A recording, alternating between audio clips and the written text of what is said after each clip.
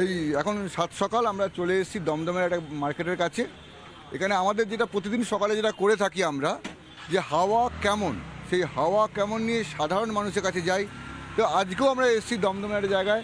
তো হাওয়া কেমন জানতে এখানে সামনে দেখতে পাচ্ছি এখানে চায়ের দোকান, চা চা বিক্রি হচ্ছে, বাচ্চারা স্কুলে যা বাচ্চারা স্কুলে যাচ্ছে। এবং যে সবাই যেমন চাটা খায়, চা খাচ্ছে, তো আমরা সেমনি এসেছি সাধারণ মানুষের কাছে। বাজারে ভিড় হচ্ছে, মাছের দোকানে মাছ বিক্রি হচ্ছে মানে সাধারণ জীবন যেমনভাবে চলে, তেমনভাবেই চলছে। এবং তার মধ্যেও এই মানে হাওয়াটা কেমন, সেটা জানতে আমার সাধারণ মানুষের কাছে দাদা, আপনি চা খেলেন তো একটু আগে? তো আজকে তো খুব গরম। গরম, আপনার ঘামও দিচ্ছে? তো হাওয়াটা কেমন? হাওয়া? ভোটের হাওয়া ভোটের ভোটের হাওয়া বাজারের হাওয়া গরম হাওয়া। আমরা যাকে পাই সবসময় আমাদের সাংসদ সৌগত রায় তারই হাওয়া দমদম। এছাড়া আর কেউ নেই। আসতে যাতে সবসময় যাকে পাই সব ব্যাপারে যাকে পাই তারই হাওয়া। আমাদের সাংসদ সৌগত রায়। মানে এলাকায় খালি সৌগত রায়ের হাওয়া বইছে অন্য কারও হাওয়া বইছে না। তো আপনাদের এই যে দোকানে বসেন এখানে কি পলিটিক্যাল আলোচনা হয় না আলোচনা হয় না? আমি বলতে পারছি না। কোনো আলোচনা নেই? কোনো আলোচনা হয় না পলিটিক্যাল আলোচনা এখানে হয় না এই অঞ্চলে পলিটিক্যাল আলোচনা হয় না। তো আমরা আরও বিভিন্ন মানুষ আমি একজন কাছে দেখছি একজন মানুষ প্রতিদিন প্রতিদিন এখানে মুড়ি বিক্রি করে। তো আমরা জিজ্ঞাসা করব তার কাছে প্রতিদিন মুড়ি বিক্রি করেন? হ্যাঁ প্রতিদিন মুড়ি বিক্রি মুড়ি কেমন বিক্রি হয় মুড়ি কেমন বিক্রি হয় এখানে? কেন হয় মোটামুটি হয় খুব বেশি না খুব কমও না। আচ্ছা। আচ্ছা বিক্রি হয়। দাদা এই অঞ্চল সকালবেলাতে বাজার করতে এসছেন? তো দুটো থলি নিয়ে। বাজারে দরদাম কেমন এখন? তো বরাবরই বেশি। এখন এখন আবার কি আছে? যতদিন এরকম চলছে এরকমই। এত কমাকমির কোনো ব্যাপার নেই। আর নেতারা পয়সা খাবে আর জিনিসের দাম কমবে। হয় নাই কখনো? কখনোই হয় না।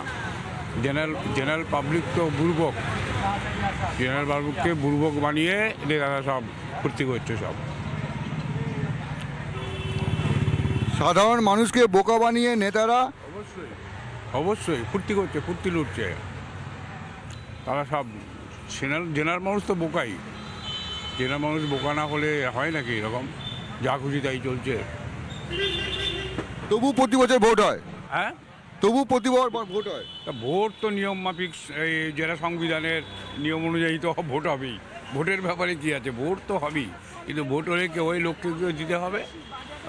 অথচ ভোট তো আর লোকে এখন দিতে পারে না দিয়ে দেয়। আপনারা তো ওই মিটিং মিছিল যেখানে মিটিং মিছিল তো দেখি তো খালি আর যেন কোনো পার্টি নেই। খালি মিডিয়া খুললেই ওই ওই দুটো পার্টি আর কেউ নেই। ইনি বলছেন যে মিডিয়াতে যে দেখানো হয় দুটো পার্টিকেই দেখানো হয় আর জন্য মিডিয়া নেই। অথচ জিনিসপত্রের দাম বাড়তেই আছে বাড়তেই আছে। নেতারা নেতারা নেতাদের কাজ ছেড়ে অন্য কিছু করছে ফুর্তি করছে তার কথা। তো আমরা মানে একটা ক্ষোভ সাধারণ মানুষ তো ভালোই আছে। নেতারা ইয়ে আছে জেনারেল পাবলিককে বুর্বক বানিয়ে নেতারা চালাচ্ছে। সাধারণ মানুষকে বোকা বানানো হচ্ছে। দাদা আপনি তো বাজার করে এলেন কী কী কিনলেন? কিনলাম তো অনেক কিছু। তোর তরমুজ কিনলাম আলু কিনলাম কিনলাম বলুন কি বলতে চাচ্ছেন? দাম কেমন? জিনিসপত্রের? আছে।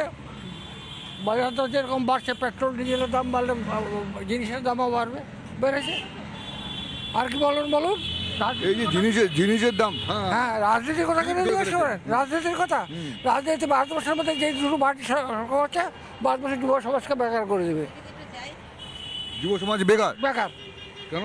কেন নয়? বলুন দিদি কি চাকরি দিয়েছে দশ বছরের ভিতরে? স্কুলে এম এ পাস করে ভালো রেজাল্ট করে রাস্তার মধ্যে বসে রয়েছে। নরেন্দ্র- মোদী চল্লিশ লাখ লোকের চাকরি খেয়ে দিয়েছে। তাও তো মনমোহন সিং সরকার আপনার বামফ্রন্টের চাপেতে বার্ধক্য তারপর আপনার খাদ্য সুরক্ষা, তারপর আপনার আবাস যোজনা, এগুলো চালু করেছিল। পশ্চিমবাংলা থেকে এই দুটো দলের সরকার পর্যন্ত আপনারা না বাতাতে পারবেন। পশ্চিমবাংলার মানে রসাতলে চলে যাবে। ধর্মতলা যে বসে রয়েছে, তারা কি পাস করে বসে রয়েছে? পরীক্ষা দিয়েছে। সে চাকরি পাওয়ার যোগ্য। আপ- আপনার চাকরি পাওয়ার যোগ্য, আপনাকে চাকরি দেয় আমার বাবার লাখ টাকা, দশ লাখ টাকা আছে। হ্যাঁ আমি দিয়ে দিলাম। আপনার আপনার চাকরিটা আমাকে দিয়ে দিল। কী কী কিসের জন্য দিল? বলুন। আজকে জেলে। যে বলতে পারে আমি দুশো চুরানব্বইটা সিটের প্রার্থী। যে বলতে পারে আমি বিয়াল্লিশ সিটের প্রার্থী। যদি তোমাকে প্রার্থী হয়ে তোমাকে ভোট দিতে হয় তাহলে দায়টাও তোমার। দায়টা তোমার দায়টা তোমার। ভোট যদি দিতে হয় যে ভোট পেয়েছ যে রাজা হয়েছো তার দায়। সে দুশো চুরানব্বইটা সিটের বলছে আমাকে আমি দুশো চুরানব্বই সিটের প্রার্থী। দুশো চুরানব্বইটা সিটের মধ্যে কেউ যদি অন্যায় করে সে অন্যায় দায় তোমার। কারণ তুমি দুশো সিটের প্রার্থী দেখে তুমি আমার কাছে ভোট নিয়েছো। ভোট নিয়েছো। আর তখন বলছে, আমি জানি না। হয় নাকি? প্রধানমন্ত্রীকে দেশের দায়িত্ব জমা নিতে হবে, মুখ্যমন্ত্রীকে রাজ্যের কোনো অন্যায় হলে তার দায়িত্ব নিতে হবে। সে সরকারের কর্ণধার। বেকার সমাজ ধ্বংস। ঠিক কথা। উনি যে কথা বলছেন, বয়স্ক মানুষ, আজকে যে কথাটা বললেন, তুমি রাজা হয়েছো, তুমি প্রধানমন্ত্রী হয়েছো তুমি মুখ্যমন্ত্রী হয়েছ তুমি বলছো, সব সিটে আমি লড়ছি। দায় তোমাকেই নিতে হবে। আমরা এই খবরে আরও থাকব, একের পর এক খবরে এই ধরনের থাকব।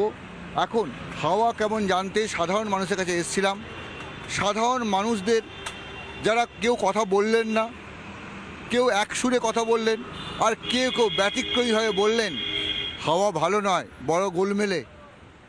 হাওয়াটা ভালো নয়। কি অপূর্ব একটা ব্যাখ্যা দিতে শোনা গেল। দেখো, সাধারণ মানুষের তারা বলছেন যে রাজার রাজত্ব থাকবে, রাজ্য পাটে থাকবে, কিন্তু রাজ্যের মানুষ কেমন আছেন সেটা দেখার দায়িত্ব নেবেন না? একদমই। দায়িত্ব তো নিতে হবে। দায়িত্ব কাকে নিতে হবে? যারা চেয়ারে বসে রয়েছে, যারা চেয়ারে বসে রয়েছে, অথচ দেখছে চাকরি চুরি হচ্ছে, যারা চেয়ারে বসে রয়েছে, অথচ দেখছে খাদ্য চুরি হচ্ছে। এটা কোন বাংলা? সেই প্রশ্নটাই করছি প্রতিদিন চা আড্ডার ভোটে আপনার কণ্ঠস্বর হয়ে বুক চিতিয়ে চোখের চোখ আজ এখানেই শেষ করছি। আবারও আগামীকাল ঠিক সকাল আটটায় দেখা হচ্ছে আপনাদের সঙ্গে।